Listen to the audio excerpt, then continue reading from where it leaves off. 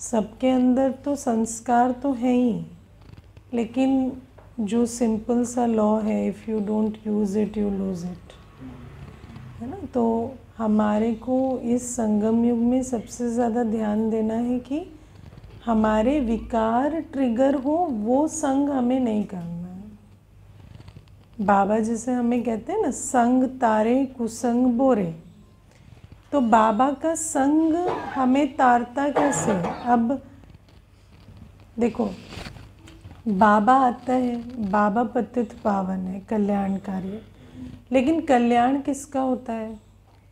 जो कल्प पहले वाली आत्माएँ हैं। है ना? वैसे सबका कल्याण होता है, सब मुक्ति धाम जाते हैं। लेकिन सुख धाम जाती हैं वो आत्माएँ जो कल्प पहले वाली हैं। तो कल्प पहले वाली आत्माओं का ही क्यों कल्याण होता है? क्योंकि उनके अंदर वो दैवी संस्कार हैं।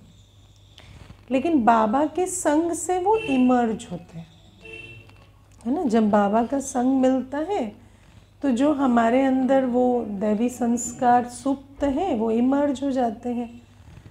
और वही यही चीज़ कुसंग के साथ भी होती है। जब हम विकारियों का संग करेंगे तो उनके संग से हमारे विकारी संस्कार इमर्ज होंगे। है ना? तो इसीलिए बाबा कहते हैं, संग बहुत इम्पोर्टेंट है, क्योंकि आत्मा के अंदर तो सारे ही संस्कार हैं। लेकिन इस संगम युग में एक बाबा का ही संग करेंगे तो हमारे सारे जो दैवी संस्कार हैं, है ना? एक्चुअली ईश्वरीय संस्कार, फिर ईश्वरीय संस्कार इमर्ज होंगे तो फिर दैवी संस्कार भी वो बदल जाएँगे। जब स, जब सत्युग आएगा तो वही संस्कार दैवी संस्कार बन जाएँगे है ना? भक्ति तो कुछ भी नहीं है। भक्ति तो एक भक्ति को तो आप अगर समझें तो भक्ति एक ईगो को फ़ीड करने का तरीका है। है ना? रावण राज्य के साथ भक्ति चलती है ना? तो भक्ति एक सिर्फ़ ऊपर ऊपर से आप पढ़ रहे हैं, आप है ना, गीत गा रहे हैं, कीर्तन कर रहे हैं, दान पुण्य कर रहे हैं, उससे आपको ऐसा लग रहा है कि वो जो हम पाप कर रहे हैं वो बैलेंस हो रहा है। भक्ति का बेसिक फिलॉसफी यही है है ना, कि एक तरफ़ पाप कर रहे हैं और दूसरी तरफ़ हम ये भक्ति कर रहे हैं। लेकिन उससे कोई बैलेंस आउट होता नहीं है। नहीं, वो बैलेंस आउट होता ही नहीं। कर्म कभी बैलेंस नहीं होता। आपने जो विकर्म किया, वो विकर्म ही रहेगा और उसका खाता आपके पास आएगा। और इनफैक्ट भक्ति करने से हमें ऐसा लगने लगता है कि जो हमने पाप किया, वो गायब हो गया। तो हम और करने को प्रेरित हो जाते हैं।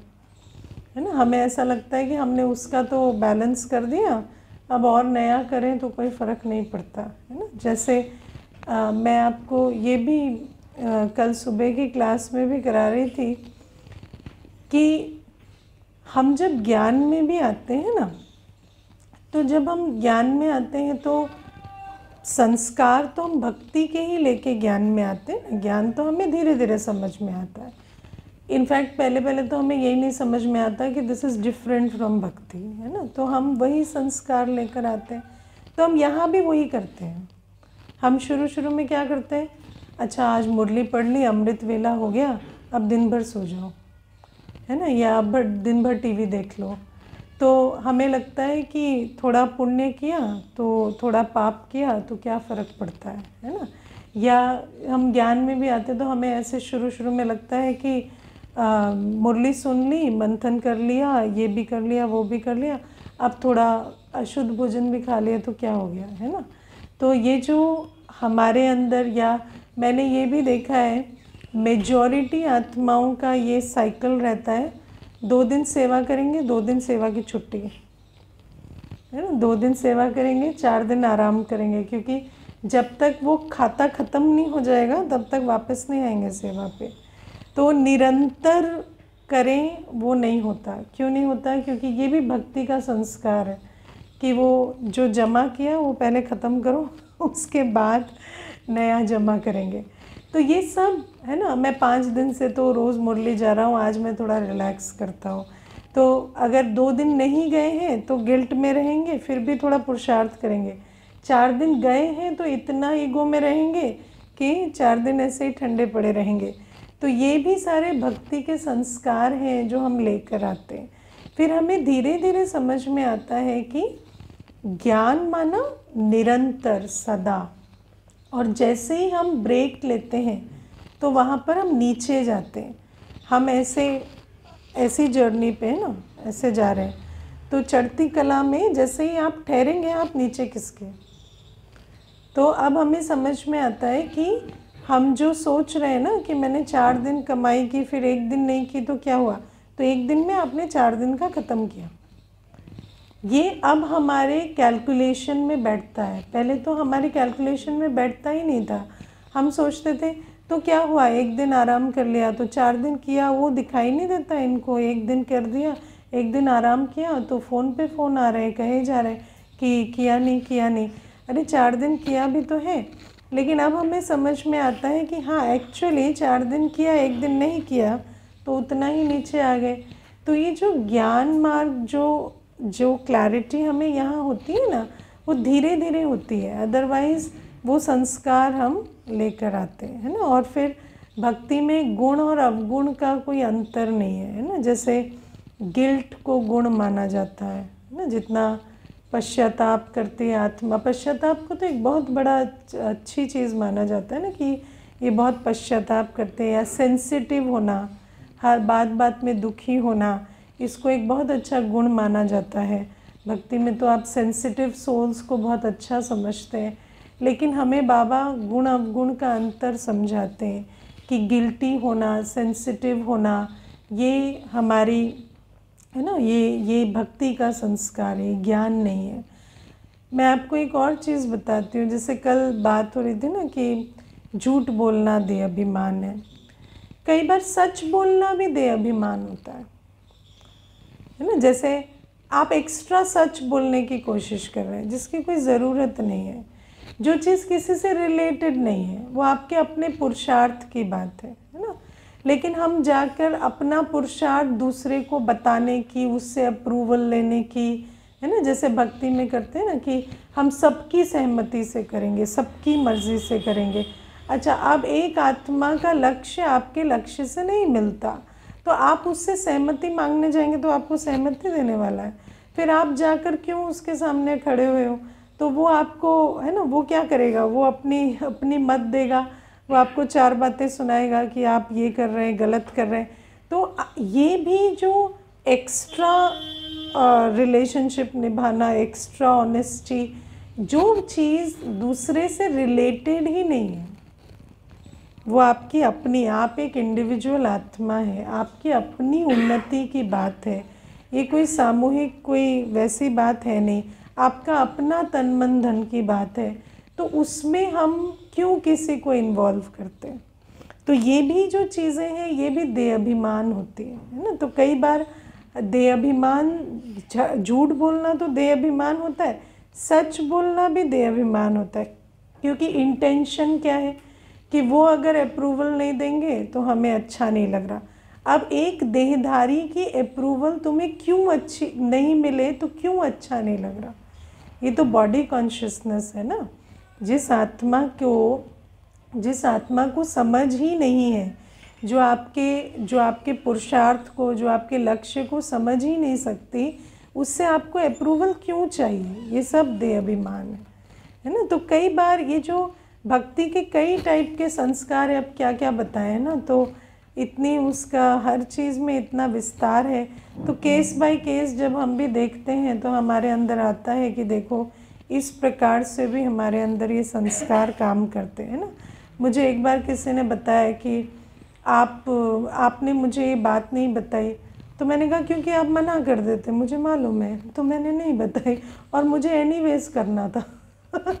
तो जब मुझे करना ही है, जब मुझे श्रीमत से बाबा की मुरली से समझ आ चुका है कि मुझे ये करना है और ये श्रेष्ठ कर्म है तो मैं आपको क्यों बताऊँ? है ना? मुझे तो एनी करना है। अब आप बेकार में दुखी होंगे मेरे बताने से। और बाकी मैंने छुपाया नहीं। है ना? देखो, अगर आपको, अगर आप बता रहे हैं, वो भी दे अभिमान है। अगर आप छुपा रहे हैं, वो भी दे अभिमान है। छुपाना क्या होता है? आप देख रहे हैं, वो व्यक्ति इन एंड अराउंड है या नहीं? वो सुन रहा है या नहीं? वो देख रहे हैं नहीं? उसके हिसाब से चल रहे तो भी आप उसी देहधारी की याद में है ना? तो आप वो कर रहे हैं जो आपको करना है। आपको कोई फ़र्क नहीं पड़ रहा, कोई देख रहा है, नहीं देख रहा है। आप ना बता रहे हैं, ना छुपा रहे हैं। बताना दे अभिमान है, छुपाना भी दे अभिमान है। सामने वाला अपने आप पता कर रहा है, वो आपको पूछ रहा है, आप उस, उसको भी झूठ नहीं बोल रहे। आप उसको भी एक्सेप्ट कर रहे हैं कि हाँ हम ये कर रहे हैं और ये हमें ठीक लगता है तो हम कर रहे हैं और मेरी सेंसिबिलिटी में बैठता है तो हम कर रहे हैं, है ना? तो ये जो ये जो क्लैरिटी है ना, ये हमें रखनी होती ना बताना है, ना छुपाना है, ना झूठ बोलना कुछ नहीं करना, है ना? आप, आपके जीवन है, आपको जो बात समझ में है, आप करो। और अगर आपकी बुद्धि में एक देहधारी बैठा हुआ है तो आप इन तीनों में से एक चीज़ ज़रूर करेंगे। है ना? या तो एक्स्ट्रा बताने की कोशिश में जाएँगे या छुपाएँगे कि उनको पता ना पड़े, पता ना पड़े। अरे, पता पड़ेगा तो पता पड़ेगा। नहीं पता पड़े उसकी भी आप क्यों चेष्टा करते हो? आप डरते हो? किस बात से डरते हो? कोई क्या करेगा? है ना? मारेगा। ना? दो थप्पड़ खा लेना, क्या हो जाएगा? खून निकल आएगा। क्या हो जाएगा? कोई मार भी देगा तो क्या हो जाएगा? है ना? मानो घर में एक थप्पड़ भी पड़ेगा तो भी क्या हो जाएगा? है ना? कितनी बार मारेगा? ना? मारने वाले के भी तो हाथ में दर्द होता है कि खाली मार खाने वाले को होता है। है ना? तो ये भी हमें समझना है कि ये जो सारी चीज़ें दे अभिमान है, देहधारी के चक्कर में रहना ही दे अभिमान है। मैं एक आत्मा हूँ, मेरा लेना देना बाबा के साथ है, मैं कर रहा हूँ और हम कोई पाप कर्म नहीं कर रहे, हम बाबा के श्रीमत अनुसार जो कर रहे हैं, कर रहे ना तो ये सारी चीज़ें, बहुत छोटी छोटी छोटी छोटी बातें हैं जो अगर हम थोड़ा ध्यान से देखते हैं तो मालूम पड़ता है इन बातों में भी गड़बड़ होती है। तो ये तो एक भक्ति की बात आ जाएगी। आज बाबा हमें कहते हैं कि तुम्हें रावण का बनना है कि ईश्वर का बनना है? है ना, बाबा बहुत अच्छा प्रश्न आज हमें पूछते हैं कि तुम्हें ईश्वर का बनना है कि रावण का बनना है? अब देखो, सबसे मूल बात यही है कि हमें बनना किसका है? क्या लक्ष्य है हमारा? है ना? अगर हमें ईश्वर का बनना है तो इतने अज्ञानी तो हम नहीं हैं कि हमें पता नहीं चल रहा कि हम जो देख रहे हैं, सुन रहे हैं, खा रहे हैं, पी रहे हैं, पढ़ रहे हैं, वो हमें ईश्वर का नहीं बना रहा। है ना? तो हमें इतने अज्ञानी तो हम है नहीं अब हमें समझ में तो आता है है ना? तो ये जो और ये जो चलाक बुद्धि होती है ना जो हाँ, हाँ चलाक नहीं चलाक बुद्धि क्या होती है? देखो आज मैं आपको एक फिनोमेना बताती हूँ। इस दुनिया में ना विकार की पैकेजिंग बहुत एस्थेटिकली की जाती है। ना? जैसे आज एक मूवी बनती है या एक स्टोरी लिखी जाती है या एक नॉवेल बनता है या कुछ भी बनता है तो होता पाँच विकार है। सब चीज़ें, आजकल जितना क्रिएटिविटी जिसको हम कहते हैं, वो है पाँच विकार, ठीक है? लेकिन उसके बीच में दो शास्त्रों की बात दो अनुभव की बात थोड़ा पिक्चराइजेशन एस्थेटिक है ना? तो ये ये सब करके ऐसा दिखाया जाता है कि ये कोई काम की चीज़ है जो दिखाई जा रही है, या कोई ऐसी चीज़ है जो आपके काम आने वाली है। लेकिन मैं आपको बताऊँ एंटरटेनिंग एक विकारी आत्मा को एंटरटेन सिर्फ़ विकार करता है। और हर चीज़ जो कमर्शियली आज आपको बेची जाती है, उसके अंदर है ही विकार। अगर वो विकार नहीं है तो आपको अट्रैक्ट नहीं करेगा। सिंपल सी बात। है ना? सादा भोजन की कभी लत नहीं लगती। कभी किसी भी ऐसी चीज़ की लत नहीं लगती जो निर्विकारी है। इसीलिए तो पवित्रता का पुरुषार्थ होता है। पवित्रता की लत नहीं लगती। एडिक्शन हमेशा आपको इम्प्योरिटी का होता है। है ना? ये जो काम क्रोध, लोभ, मोह, अहंकार है ना, जब तक आप कहानियों में, फ़िल्मों में, ड्रामा में, एडवर्टीजमेंट में, खाने में ये वाला नहीं डालेंगे, ये सारा रस, तब तक उसका एडिक्शन नहीं होगा किसी को। और सारा कॉमर्स एडिक्शन से चलता है। कॉमर्स कॉमर्स की जो सारी जो चेष्टा है वो ये है कि आपको एडिक्ट बनाए, क्योंकि आप एडिक्ट बनाएँगे तभी तो रिटर्निंग व्यूअर बनेंगे ना। अब क्या है, हम और हम एक दूसरे को, हम अपने आप को छलते कैसे? हाँ उसमें एक दो चीज़ें तो ऐसी थी, पर देखो, ज्ञान की बात थी उसमें। ये जो बात थी ना, ये बड़े पते की थी, ये बड़े ज्ञान की बात थी। अभी मैं फेसबुक पे देख रही थी, एक भाई है, ज्ञान में है उसने एक पोस्ट किया था कि आपने ये पर्टिकुलर फ़िल्म नहीं देखी है तो आप, है ना तो ये ये ज्ञान से रिलेटेड है। अब ज्ञान ज्ञान समझने के लिए आपको फ़िल्म देखने की ज़रूरत नहीं है। वो दुनिया की फ़िल्म है, बाबा के घर की नहीं हम लोग तो अब आजकल अपने वीडियोस भी बनाते हैं ना तो वो तो हम देखते हैं। अब हमें ज्ञान समझने के लिए एक दुनिया की फ़िल्म या कई बार मैं भाई बहनों को देखती हूँ, ये किताब है ना, ये ज्ञान से रिलेटेड है है ना, दुनिया की किताब है। अरे, ज्ञान से रिलेट करने के लिए तुम्हें इतनी मुरली मिलती है, इतनी अव्यक्तवाणी मिलती है, इतनी बाबा की बुक्स मिलती हैं, तुम्हें बाहर की किताब से ही ज्ञान सीखना बाकी रह गया क्या? सारा पढ़ लिया तुमने, यहाँ वाला। है ना तो ये जो इसमें ये ज्ञान की चीज़ है, इसमें ये शिक्षा की चीज़ है, ये सब ये सब क्या है? ये सब चलाक बुद्धि का काम है। है ना? हम ये देखते हैं, इसमें इंफॉर्मेशन है, इसमें एक इंपॉर्टेंट चीज़ है है ना? अब बिज़नेस रिलेटेड भी आप, कई बार हम कहते हैं, हम ये बिज़नेस में हेल्प करते हैं। लेकिन क्या सच में, सच, सब कुछ बिज़नेस में हेल्प कर रहा है? हम बहुत सारा उसके नाम पे भी व्यर्थ देखते हैं। नाम पे भी बहुत सारी चीज़ें देखते हैं, क्योंकि विकार की अट्रैक्शन होती है। है ना? तो हमें सोचना है कि हमें बनना किसका है? हमें ईश्वर का बनना है या रावण का बनना अगर हमें रावण का ही बनना है तो फिर ये नाटक क्यों? है ना? फिर ये इतना, है ना? फिर यहाँ टाइम वेस्ट क्यों कर रहे हैं? और अगर हमें ईश्वर का बनना है तो हम फिर उन बातों में क्यों जाते हैं? है ना? हम क्यों जाते हैं उन बातों में? और देखो, ये भी, मैं ये भी नहीं कह रही कि देखो, संस्कार बदलने में टाइम लगता है। बहुत सारी चीज़ें हमें अट्रैक्ट करती हैं, सब होता है। लेकिन उसको जस्टिफाई नहीं करो। उसको जस्टिफाई नहीं करो।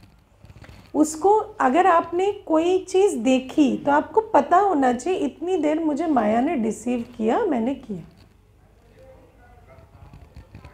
माया ने मुझे तंग किया, मैंने उसको गिवन किया, मैंने किया। वो आपके विकर्म का खाता बना, आपको मालूम होना चाहिए। आप अपने को डिसीव नहीं करो, मुझे अच्छा नहीं लग रहा था, मुझे ऐसा नहीं लग रहा था तो मेरे को ये करना पड़ा, मुझे फील गुड हुआ। उससे आपको कोई फील गुड नहीं होगा। वो जो आप कर रहे हो, उससे आपकी अधोगति होगी, ये ज्ञान है। लेकिन आप इसे एक्सेप्ट करो, है ना, कि ये मेरी जर्नी का हिस्सा है और कुछ चीज़ें नहीं हो पा रही हैं तो हम कर रहे हैं।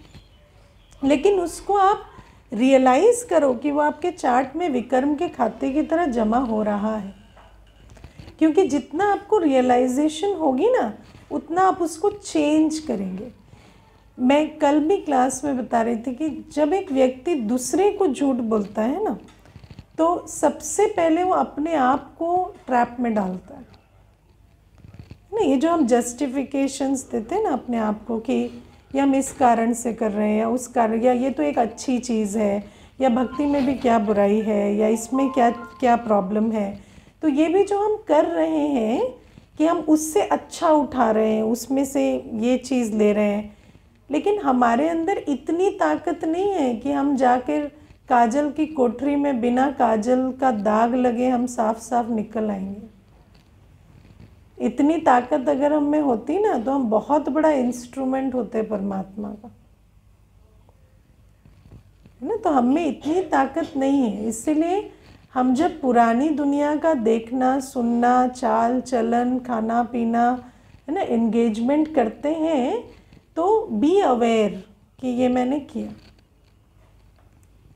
है ना? और ये खाता बनाता है है ना? और अगर आप इसको जस्टिफाई करते हैं तो आप अपने ही जस्टिफिकेशन के ट्रैप में पड़ेंगे और वो संस्कार आपका बढ़ता जाएगा और धीरे धीरे आपको ज्ञान याद भी नहीं रहेगा। जैसे पहले पहले तो याद है ना कि हम ये कर रहे हैं, ये नहीं करना है धीरे धीरे आपने अपने आप को कन्विंस कर दिया है कि ये राइट है जो मैं कर रहा हूँ।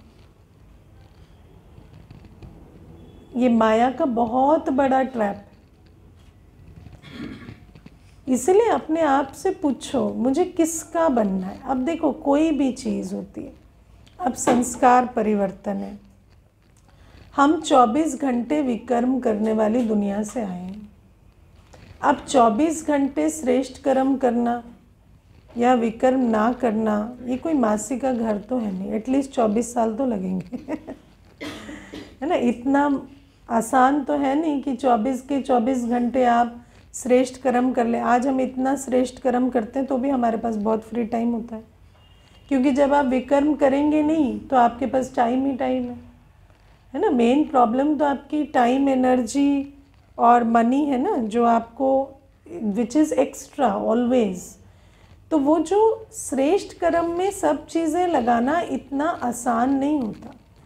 लेकिन आपको उससे डील करना पड़ता है। है ना? आपका माइंड जो होता है, जब आप जब आप ज्ञान सुन लिए, सब कर लिए, योग लगा रहे हैं ना? अब योग तो कंटिन्यूस कितना लगाएँगे? आधा घंटा बैठ गए, पौना घंटा बैठ गए, एक घंटा बैठ गए। उसके बाद आपको खींच होगी, चलो अब कुछ है ना? कुछ देख ही लेते हैं, कुछ सुन ही लेते हैं, कुछ टाइम पास ही कर लेते हैं। अब अगर आप उस खींच को सरेंडर नहीं करते हैं तो नेक्स्ट क्या होता है? आपके मन में सारी पुरानी पराई बातों का तूफ़ान मचने लगता है और वो सारा होता है, क्योंकि वो सबकॉन्शियस माइंड तो सारा भरा पड़ा है। तो आपको उसके साथ डील करना पड़ता है। आपको फिर योग लगाना है, फिर सेवा कुछ एक ढूंढनी है, या कुछ एक आपको पुरुषार्थ ढूंढना है, कुछ एक किसी के साथ बात भी कर रहे हैं तो उसमें एक एंगल सेवा का ढूंढ के करना है तो आपको बहुत क्रिएटिविटी चाहिए। अगर आप क्रिएटिव नहीं होंगे तो आप जीवन को, है ना, विकारी से निर्विकारी बनाना इतना सहज नहीं, है ना? क्योंकि आजकल तो हमने जैसे जैसे कलयुग बढ़ता जा रहा है मनुष्य विकारी जीवन बनाने के लिए अपने आप को बहुत फ्री कर चुका है ना? नेसेसरी कर्म भी ख़त्म हो गए। पहले व्यक्ति कपड़े धोता था। देखो, पहले पहले जब मनुष्य थोड़ा रजो स्टेज में भी था, है ना? या चलो तमो में था, तमो प्रधान नहीं था तो भी आप पूरे दिन को एंगेज करने के लिए क्या करते थे? मनुष्य जाके दुकान पे बैठे रहता था, है ना? सामान बेचता था या घर में भी होते थे तो बर्तन धो, कपड़े धो, है ना? या खाना बनाओ, या सब चीज़ें हाथ से पीसो, साफ़ करो। कितनी सारी चीज़ें हम करते थे। अब आज क्या है जैसे जैसे तमो प्रधानता बढ़ी तो हमने अपने आप को हर तरफ़ से फ्री करके और सिर्फ़ विकारों के लिए अवेलेबल रखा। है ना? नौकर लगाए, सारा कुछ आउटसोर्स कर दिया। और अभी सारा टाइम एनर्जी थॉट किसमें जा रहा था? व्यर्थ देखने, सुनने, बोलने में।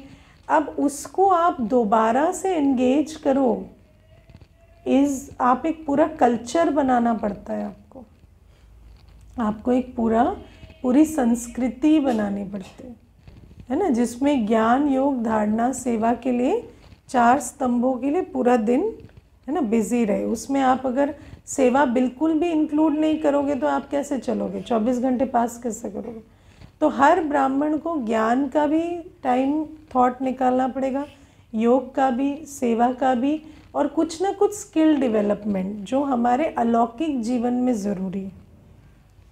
ना? टोली बनाना, भोजन बनाना, कोई भी स्किल डेवलपमेंट चाहे आप टेक्निकल नॉलेज रखो। आजकल क्या है, सेवा में जो जो चीज़ें यूज़ होती हैं उसकी धारणा करना भी, ये भी आप एक एक एंगेजमेंट रख सकते हैं। है ना कि कोई चीज़ आप ऐसी सीखें, करें, जिसकी सेवा में यूज़ होती है। ना, अगर आपके पास फ्री टाइम है तो वो करो। आजकल क्या है वीडियो एडिटिंग और हर चीज़ हर चीज़ सेवा में यूज़ होती है। तो वो वाली चीज़ें यूज़ करो या पैकेजिंग सीखो या टोली बनाना सीखो। या लेकिन उस टोली बनाने के लिए भी आपको पहले भोजन शुद्ध करना पड़ेगा। तो ये जो सारा, ये जो ईश्वर का बनना या रावण का बनना, जब आप एम रखेंगे ना तो उस एम के हिसाब से जब आप मूव करेंगे तो आप बनेंगे। वरना क्या है, अगर लक्ष्य क्लियर नहीं है तो फिर कहते रहेंगे हम ईश्वर का बनना चाहते हैं और ईश्वर का बनने की आड़ में खूब रावण का बनेंगे, मस्ती से। हाँ मस्ती से बन रहे हैं। कई बार ऐसा होता है कि ऐसा ईश्वर का बन रहे हैं कह कह के इसमें बाबा का ये है उसमें बाबा का वो है तो सब करके खिचड़ी करके चलते है। ना? तो ऐसे नहीं चलेगा। हम्म, तो ये बाबा आज हमें बहुत अच्छा अच्छी बात पूछते और बाबा कहते संग तारे कुसंग बोरे। तो कुसंग में जब हम आ रहे हैं हम डूब रहे हैं मालूम होना चाहिए। है ना? और हम बहुत मुश्किल से निकल के आए हम बहुत मुश्किल से निकल के आए इसीलिए कुसंग में नहीं जाना। है कुसंग में जाएँगे तो वहाँ डूबेंगे। ना, पुरानी दुनिया का चाहे वो भक्ति मार्ग हो, चाहे विकार भी, विकार, भक्ति भी, विकार पैकेज्ड इन अ ब्यूटीफुल ये है। है ना? भक्ति में भी देखो, हम कित, जितनी कहानियाँ सुनते हैं उनमें भी क्या है? वही काम, क्रोध, लोभ, मोह, अहंकार है। ना, देवताओं को भी हम कैसा दिखाते हैं? कि वो भी अपनी इच्छाएँ, तृष्णाओं के वश एक दूसरे पे आक्रमण कर रहे हैं, है ना? और एक दूसरे को छल रहे हैं। तो ये सारी कहानियाँ हम सुनते हैं। तो वही पाँच विकारों की एक ब्यूटीफुल एस्थेटिक पैकेजिंग कर दी जाती। लेकिन शिक्षा क्या मिल रही है? शिक्षा तो वही मिल रही है। है ना? हमें भी कौन सी कहानियाँ अच्छी लगती है? जहाँ पर या तो भगवान की आँखों में आँसू आ गए या भक्त की आँखों में आँसू आ गए। फाइनली तो आपको रोने की प्रेरणा मिल रही है ना? सही बात है ना? आप कितनी, अभी आजकल क्या है? बहुत सुंदर सुंदर वीडियोस बना के भेज देते हैं, जिसमें भक्त की भक्त की भक्ति देख के भगवान की आँखों में आँसू आ गए, भगवान इमोशनल हो गए। या भक्त की, भक्त भगवान को देख के भक्त बहुत इमोशनल हो गया। तो फाइनली तो आप उसको देख के क्या सीख रहे इमोशनल होना ही सीख रहे हैं ना? तो ये सब रावण मत है। है ना? अभी मुझे एक भाई कह रहे थे कि हम आजकल रामायण देख रहे हैं और हम उसमें से ज्ञान की बातें निकालते हैं। तो मैंने कहा, मुरली सुन लिया करो। ज्ञान डायरेक्ट मिलता है, उसमें से क्यों आप इतनी मेहनत कर रहे हैं छाट छाट के निकालने की? है ना? तो वो कहते हैं कि नहीं, वो एक्चुअली आया नहीं जाता है ना तो हम टीवी पे देख ले रहे टीवी पे भी आता है ज्ञान। टीवी पे भी ऐसी बात नहीं है कि ज्ञान नहीं आता है। पर ये भी क्या है, ये सब भी हम अपने को चल ही रहे तो संग तारे, कुसंग बोरे, इसको भूलना नहीं। हाँ और बाबा हमें कहते हैं कि, और मैं हमेशा एक बात कहती हूँ, आप क्या कर रहे हैं इज़ नॉट इंपॉर्टेंट लेकिन आप जो कर रहे हैं वो आप जान के करो। अपने को छलो नहीं। है ना? दूसरे को छलने के चक्कर में भी अपने को नहीं छलो। ना? आप क्या कर रहे हैं इज़ नॉट इंपॉर्टेंट आप कुछ भी कर सकते हैं। आप जो बनना चाहते हैं, बन सकते हैं। लेकिन आप क्या कर रहे हैं, वो देख के, जान के करो। ना, मुझे एक बार एक कन्या आई थी, मुझे बोली कि मैं अगर छोटे कपड़े पहनना चाहती हूँ तो इसमें कोई प्रॉब्लम तो नहीं है? मैंने कहा, नहीं, कोई प्रॉब्लम नहीं। लेकिन अगर आप छोटे कपड़े पहन के बाहर जाएँगे तो आप पर लोगों की दृष्टि पड़ेगी। जब व्यक्ति विकारी होता है और उसकी दृष्टि पड़ती है तो उसकी कोई मर्यादा नहीं होती है। वो कुछ भी कर सकता है। है ना? तो आपको उससे डील करना आना चाहिए। क्योंकि जब एक शरीर पे हाथ लगता है ना तो शरीर पे, आत्मा पे, इमोशन पे सब पे घाव होता है। सिर्फ़ बॉडी पे नहीं होता। है ना? Because the soul is in the body. तो आप आपको कोई अगर, आपको कोई अगर शरीर, आपको कोई अगर फिजिकली मोलेस्ट करता है ना, आप उसे ज़िंदगी भर भूल नहीं सकते।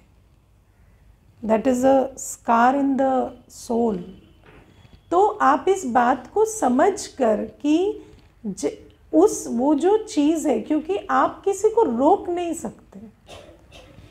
तो वो जो वलनरेबिलिटी है, उसको समझ के अगर आप इतने इक्विप्ड हैं कि आप उस emotional scar spiritual scar physical scar से डील कर सकते हैं तो आप अपनी चॉइस ले सकते हैं। लेकिन क्या आपको कोई जूडो कराटे आती है, या आपको क्या आता है, या आप किस प्रकार से अपनी प्रोटेक्शन करेंगे? आपने कोई तैयारी की है? तो कहते नहीं, पर वो क्यों करेंगे? तो मैंने कहा, वो नहीं है। उसका कोई हल नहीं है। है ना? देखो, जब आप सड़क पे चलते हो तो आपके सामने से एक गाड़ी आ रही है। वो आपको धक्का मारने वाली है। तब आप बैठ के सोचेंगे, ये ये जो गाड़ी है ना, ये दूसरे डायरेक्शन से, गलत डायरेक्शन से आ रही है। इसकी रिपोर्टिंग होनी चाहिए। ये मुझे धक्का कैसे मार सकती है? गलत तो ये है, डैमेज तो इसका होगा तो क्या होगा? वो धक्का मार के आपको आपकी गाड़ी को डैमेज कर देगी। इसीलिए जब दुनिया में अनाचार, दुराचार, व्यभिचार बढ़ जाता है तो हम ये नहीं पूछते कि ये क्यों हो रहा है, क्या हो रहा है। हम पहले उससे बचाव करते अगर हमें पूछना भी है ना ये सवाल तो भी वो सवाल बाद में पूछे जाते हैं। आप एक्सीडेंट से बच के फिर जा सकते हैं पूछने के लिए कि आप गलत तरफ़ से ड्राइविंग क्यों कर रहे थे? या आप ज़िंदा रहेंगे तो आप रिपोर्टिंग करेंगे ना? पहले तो आपको ज़िंदा रहना पड़ेगा ना, फिर आप जाएँगे उसकी पुलिस में रिपोर्ट कराने। तो पहले आपको बचना होता है। पहले आप ये नहीं कहते कि ये नहीं होगा और मैं एक्सीडेंट में नहीं आऊँगा, इसीलिए मैं अपने आप को वलनरेबल पहले छोड़ूँ और मैं इस बात को, है ना, मैं लड़ूँगा, करूँगा। नहीं, पहले आप बचाव करो फिर आप लड़ो, फिर आप समाज को परिवर्तन करो, फिर आप कुछ भी करो। है ना? तो ऐसे परिवर्तन नहीं आता। तो मनुष्य की प्रॉब्लम ये नहीं है कि वो कोई चॉइस लेता है। मनुष्य की प्रॉब्लम ये है कि वो चॉइस अनइनफॉर्म्ड लेता है। और बाबा हमें, देखो, बाबा हमारी चॉइसेस के साथ कभी इंटरफेयर नहीं करता। बाबा किसी को ज़बरदस्ती अमृत वेला उठाता है? किसी को ज़बरदस्ती मुरली सुनाता है? ज़बरदस्ती करता है, योग करो। नहीं, कितने प्यार से कहता है। ना, बच्चे उठो, याद करो, है ना, मुरली सुनो, सेवा करो। क्यों कहता है? बाबा ये भी कहता है, ये करोगे तो ये होगा, ये नहीं करोगे तो ऐसा होगा। तो बाबा हमें इन्फॉर्म चॉइसेस देता है। जब हम मुरली सुनते हैं तो हमें कर्म की गति समझ में आती है। ये कर्म करने से ये होता है, ये कर्म करने से ये होता है। अगर उस कर्म की गति को हम इग्नोर करते हैं, है ना तो ये माया हमसे कराती है। आज बाबा ने हमें समझाया कि संग तारेगा, कुसंग बुरेगा। और अच्छे से एक्सप्लेन भी कर दिया गया, ये ये ये संग है, ये ये कुसंग है। अब अगर हम अपने मन में फिर भी कहें, नहीं, ये करने से भी हम डूबेंगे नहीं तो वो माया का काम है। तो ज्ञानी माना आपको बाबा ने ज्ञान सागर हमें हर चीज़, हर कर्म की गति समझा रहे हैं। ये करने से ये होता है, ये करने से ये होता है। ठीक है ना? तो ये सबसे बड़ी चीज़ आप कलयुग में हैं आप अगर कमल फूल समान नहीं रहेंगे तो क्या होगा? हाँ बाबा ने आज क्या कहा? कमल पुष्प समान रहेंगे, तब जाकर हम श्रेष्ठ दुनिया में जाएँगे। नहीं तो नहीं रहेंगे। अब जैसे कमल पुष्प कीचड़ में रहता है और न्यारा रहता है तो उसके अंदर एक क्वालिटी है ना प्योरिटी की। उसकी आप रिसर्च करेंगे तो वो बताते हैं, उनके पत्तों में ये क्वालिटी है है ना, ये इस प्रकार से उसके ये है। तो बाबा कहते हैं, ऐसे ही तुम्हें गृहस्थ व्यवहार में रहते कमल फूल समान रहने के लिए क्या चाहिए? प्योरिटी प्योरिटी की ताकत हमें गृहस्थ व्यवहार में रहते कमल पुष्प समान रहने में मदद करते। अब प्योरिटी कहाँ मिलती है? हाँ? प्योरिटी के सागर के पास। तो जब हम पवित्रता के सागर बाबा की याद में रहेंगे, जब हम हर कर्म उसकी श्रीमत पर करेंगे, तब तो हमारे अंदर पवित्रता का बल आएगा। वरना हम सोचेंगे कि हम गृहस्थ व्यवहार में रहते, कामजीत, मोहजीत बने, कैसे बनेंगे? जब योग नहीं है पवित्रता के सागर के साथ पवित्रता का सागर जो पवित्र बनने की मत दे रहे हैं, उस पर नहीं चल रहे है। ना? पवित्र दुनिया को याद नहीं कर रहे अपने पवित्र स्वरूप को याद नहीं कर रहे तो कैसे रहेंगे पवित्र? तो जब कमल पुष्प समान जीवन जीना है तो हमें पवित्रता पर अटेंशन देना पड़ेगा। और बाबा कहते हैं कि ये एक चीज़ करेंगे तो कौड़ी से हीरा जैसा बन जाएँगे, है ना? तो बाबा कहते हैं, निर्विकारी दुनिया में चलना है, कौड़ी से हीरे जैसा बनना है तो ये श्रीमत माननी पड़ेगी। और श्रीमत मानने के लिए पहले उसकी विधि अपनानी पड़ेगी, है ना? इसीलिए बाप, टीचर, सतगुरु कहा जाता है। बाप का बनेंगे, टीचर की शिक्षा पे चलेंगे तो तो श्रीमत को मानेंगे सतगुरु की। सतगुरु पहले नहीं आता। पहले बाप का बनना होता है, फिर टीचर से समझना होता है। अगर विधि ही नहीं समझी है तो श्रीमत मानेंगे कैसे? सिर्फ़ श्रीमत लेंगे, योगी बनो, पवित्र बनो। जब शिक्षा ही नहीं ली तो श्रीमत पे कैसे चलेंगे? तो इसीलिए पहले बाप का बनते हैं, टीचर से रोज़ पढ़ते हैं, समझते हैं, विधि को पहचानते हैं, तब श्रीमत को पालन करने की ताकत हमारे अंदर आती। तो बाबा कहते हैं, मेरी जो शिक्षाएँ हैं, पवित्र कैसे बनना है, उन शिक्षाओं पर चलेंगे तो फिर वो पवित्रता की विधि को पहचानेंगे और फिर इस श्रीमत को याद रखेंगे। श्रीमत सतगुरु की होती है। है ना, श्रीमत और शिक्षा में अंतर होता है। शिक्षा माना आत्मा का ज्ञान, बाबा का ज्ञान, है ना, योग का ज्ञान कालचक्र का ज्ञान, सृष्टि चक्र का ज्ञान।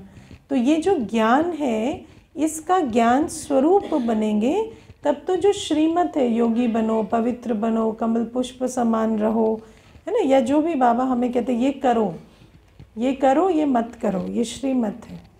तो कहते हैं ना, सतगुरु का निंदक ठौर ना पाए।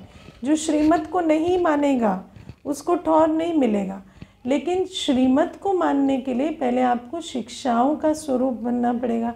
पहले आपको बाप को समर्पण बुद्धि होना पड़ेगा। सबसे पहली चीज़ है बाप का बनना, समर्पण बुद्धि होना। यही मेरा बाप है, इसी से मेरा लेना देना है। है ना? दुनिया में जब छोटे बच्चे होते हैं ना बदमाशी करते हैं तो बाप क्या कहता है, वो खाना खिलाएगा तुझे? है ना? तू मेरी मान के चल, है ना? तेरा मैं करूँगा। है ना? बच्चे को भी अक्ल आ जाती है। मेरे ख्याल से चार एक साल में तो अक्ल आ ही जाती है कि इसी की सुननी है। यही खिलाता है, यही स्कूल भेजता है, यही सब कुछ करता है और किसी की सुननी नहीं है। है ना? तो बाबा कहते हैं, इतनी अक्ल हमें आई, यही मेरा बाप है। यही करेगा, इसी की सुननी। है ना? तो बाप का बनना होता है। ना? छोटे बच्चे बाप के कितने अच्छे बने होते हैं। उनको बाप बाप उठ के जाएगा ना, कहीं बैठे होंगे, बाप उठ के चल पड़ा तो बच्चा अपने आप उठ के चल, उसको चलो नहीं बोलना पड़ता। उसको मालूम है इसके पीछे पीछे मुझे जाना है। हम्म? उसको मालूम है कि ये मेरा बाप अफोर्ड कर सकता है, वहाँ शोर मचाना है। वो लेके देगा। है ना? तो ये जो बाप का संबंध है, ये हमारा बाबा के साथ होना चाहिए। यही मेरा बाप है। यही मुझे सब कुछ देगा, मेरा सब कुछ करेगा। मुझे बस इसका बन के रहना तो बाप का बनेंगे, टीचर की शिक्षाओं पे चलेंगे, तब तो श्रीमत को मानेंगे। श्रीमत तो सतगुरु देता है। लेकिन सतगुरु की श्रीमत को पहले नहीं मान सकते। जब तक ना बने, ना शिक्षा स्वरूप बने तो सतगुरु की श्रीमत समझ में ही नहीं आएगी।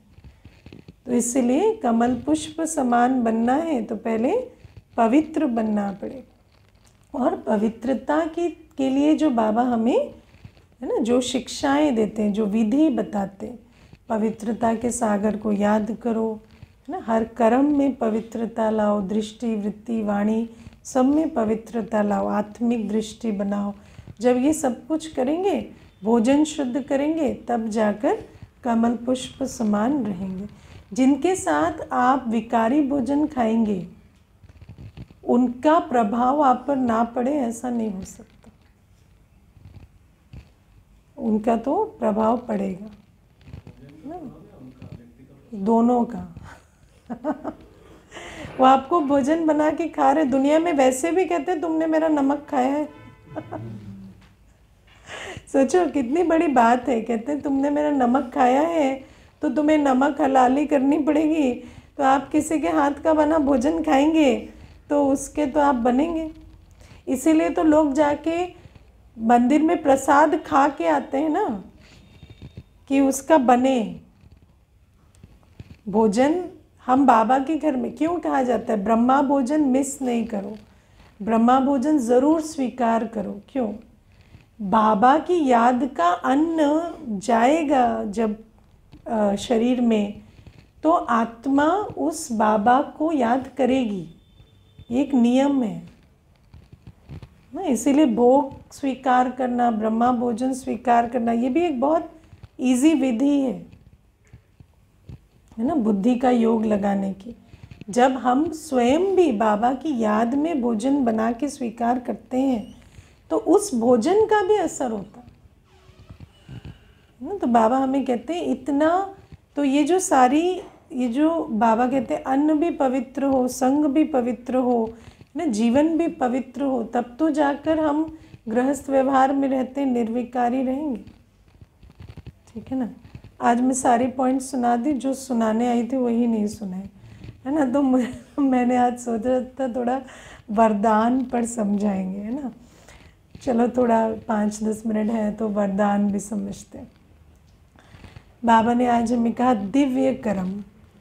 है ना? दिव्य कर्म माना, बाबा कहते हैं, हमारे संकल्प, हमारे बोल, हमारे कोई भी कर्म इवन हम धन भी कमाते हैं तो साधारण रीति से नहीं कमाते, है ना? कई बार आप देखें, दुनिया में ऐसे कहते हैं, जैसे व्यक्ति कहते हैं ना आप जब पवित्र ही बन गए तो आपको घर में रहने की क्या ज़रूरत है? है ना? घर से चले जाओ, जंगल में चले जाओ, है ना? या आपको अगर आप लोग पवित्र ही बन गए हैं तो आपको नौकरी करने की क्या ज़रूरत है? नौकरी छोड़ दो, है ना? तो व्यक्ति को क्या है कि जैसे ही प्योरिटी आती है तो दुनिया वाले को भी समझ में आता है कि अब इनका लौकिक पर्पस तो है नहीं। देखो, कितनी बड़ी बात है वो एक अज्ञानी है। उसको भी समझ में आता है कि इनका लौकिक पर्पस तो कुछ है नहीं। तो जो दुनिया में जिस कारण से, जिस इंटेंशन से, जिस पर्पस से लोग धन कमा रहे हैं, काम कर रहे हैं, संबंध बना रहे हैं, वो तो अब हमारा है नहीं। दुनिया में तो व्यक्ति संबंध बनाता है, क्योंकि वो कहता है, हमारी शादी में हम किसी की शादी में नहीं जाएँगे, हमारी शादी में कौन आएगा? है ना? या हम किसी के बीमारी में नहीं जाएँगे। तो कोई हम बीमार होंगे तो कैसे, कौन आएगा?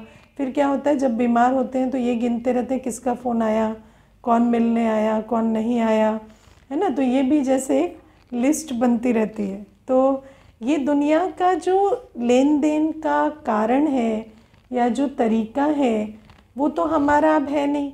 अब हमें तो कोई ऐसा नहीं है कि हमारी बीमारी में कोई हमें देखने आए हमारा बाबा देखेगा या बाबा जिसको भेजेगा, वो देखेगा, है ना?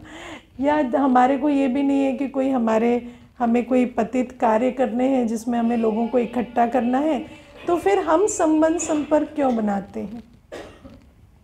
या हम धन क्यों कमाते हैं? या हम तन की संभाल क्यों करते हैं? है ना? दुनिया में तो लोग तन की संभाल इसलिए करते हैं कि अट्रैक्टिव दिखें, है ना? या लोग कहते हैं घूमने फिरने जाएँगे, या ना, बड़ी आयु में भी मनुष्य को आज होता है कि हम फिज़िकली फिट रहें तो हम लाइफ को एंजॉय करें, खाना, घूमना, देखने, सुनने का सुख अनुभव करें।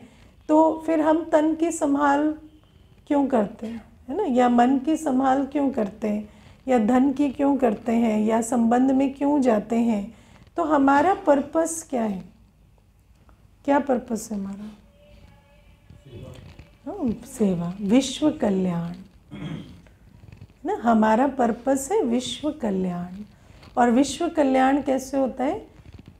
पतित को पावन बनाने से विश्व कल्याण होता है। तो हमारा सब कुछ पतित को पावन बनाने की सेवा के लिए है। ना? हम किसी को संग भी देते हैं हम किसी को स्नेह भी देते हैं हम किसी के साथ संबंध भी आ, में भी आते हैं। तो हमारा लक्ष्य क्या है? कि हमारे द्वारा बाप को पहचाने। है ना? स्नेह के सागर को तो बाद में पहचानेगा। पहले आपका स्नेह स्वरूप देखे तो उसको भी निश्चय हो कि हाँ ये स्नेह के सागर से पालना ले रहे हैं तो कल वो स्नेह के सागर को भी पहचाने। है ना? मुझे याद है, एक बार एक भाई को मैंने पूछा, आपको निश्चय होता है कि जो जो आपको पढ़ा रहे हैं, ये जो ज्ञान सुना रहे हैं, ये ज्ञान भगवान का है। तो कहते हैं, देखिए, मैंने भगवान को तो देखा नहीं है, पर आप सुना रही हैं, आप पे मुझे काफ़ी फेथ हो गया है। तो अब आप जो सुना रही हैं, मैं उस पर भी फेथ रखता हूँ और होपफुली मैं कल उसको भी जान जाऊँगा है ना? तो आप देखो कि वो जाना भगवान को। क्यों जाना? क्योंकि जब आप, आपका स्नेह स्वरूप देखते हैं और फिर आप कहते हैं, वो स्नेह का सागर है और हमने उनसे सीखा है तो वो भी समझते हैं कि हाँ होगा। तभी तो ये इतना भरपूर हुए हैं। आप ज्ञान स्वरूप होते हैं तो उनको भी अंदर आता है कि हाँ अगर ये इतना सुनाते हैं और ये कह रहे हैं कि ये उनसे सुनते हैं तो क्यों ना हम सुने, ट्राई करें।